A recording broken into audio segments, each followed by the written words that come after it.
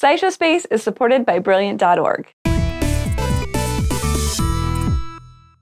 Last week, scientists and engineers announced two new developments in possible lunar habitats. So, if you've ever hoped to live on a barren, cold wasteland with minimal atmosphere, this space news is going to be very exciting for you. First, Bigelow Aerospace and United Launch Alliance, or ULA, announced that they'll be sending one of Bigelow's inflatable habitats called B330 to low lunar orbit as early as 2022. The habitat would act like a lunar depot where astronauts could live and train and where other companies could test their space tech. If this sounds kind of familiar, it's because Bigelow has been working on inflatable space habitats for over 10 years. We covered their Beam habitat last year when it was sent to the International Space Station for testing. Beam is a lot like a pillowy space closet with 16 cubic meters of volume when it's fully inflated. Right now, it's attached to the ISS with all kinds of monitors in it to measure things like micrometeorite impacts and cosmic rays. And so far, it's going okay. It's still intact and safe for humans to live in, and it's being used as storage.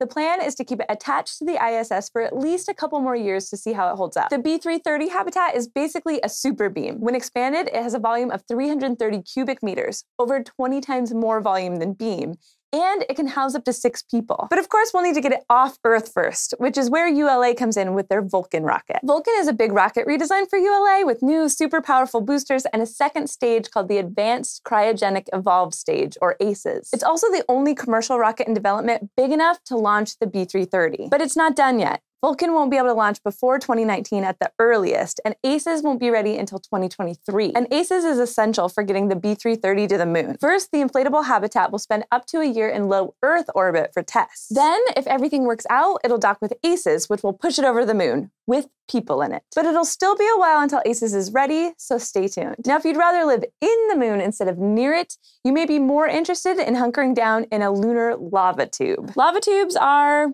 well, tubes made by lava. Scientists aren't always that creative with names. There are a couple ways they can form, but one way is when underground lava cools and hardens on the outside. Then the lava inside drains out and leaves behind a tube. We've suspected that there are lava tubes on the moon for a while because we know it had a lot of volcanic activity early in its history but now we're pretty confident that they're actually there. Back in 2009, researchers found an unexplained hole in the Marius Hills, a region of the moon covered in volcanic rock and peaks from hardened lava. And in 2014, more research confirmed that the so called Marius Hills hole was an opening into some kind of long cavern, so possibly a lava tube but we still didn't know how far underground or how tall it was. Then last week, a team from JAXA, the Japanese Space Agency, confirmed it.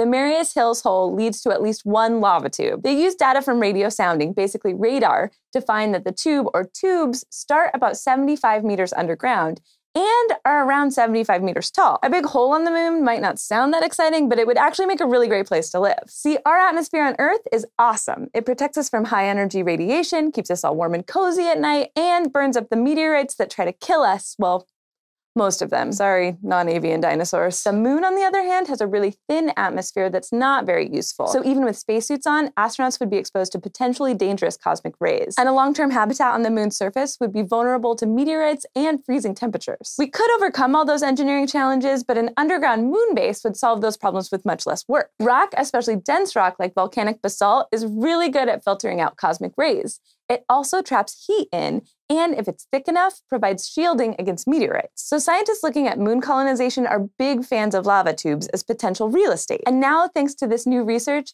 we know there's at least one tube big enough for astronauts to live in. We just need to figure out what sort of housing to put inside of them.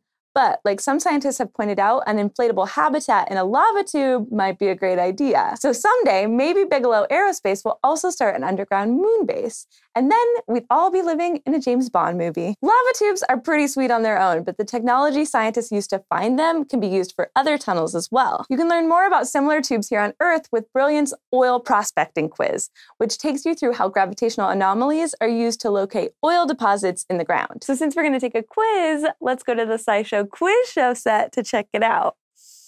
So I don't actually know anything about oil prospecting. So I'm going to kind of back up in the lesson so I can learn more before diving into this part of the quiz. So this oil prospecting lesson is really cool because it's not anything I ever would have thought about. They're using calculations that we use to talk about planets to talk about the stuff that's under the ground in the earth. So based on what I read before in the lead up to this part of the question, I think the answer is it's the same and I got it right.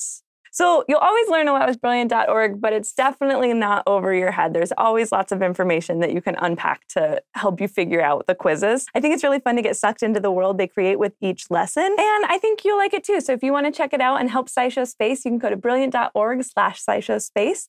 And the first 200 people that check it out will get 20% off of their annual subscription. So thanks.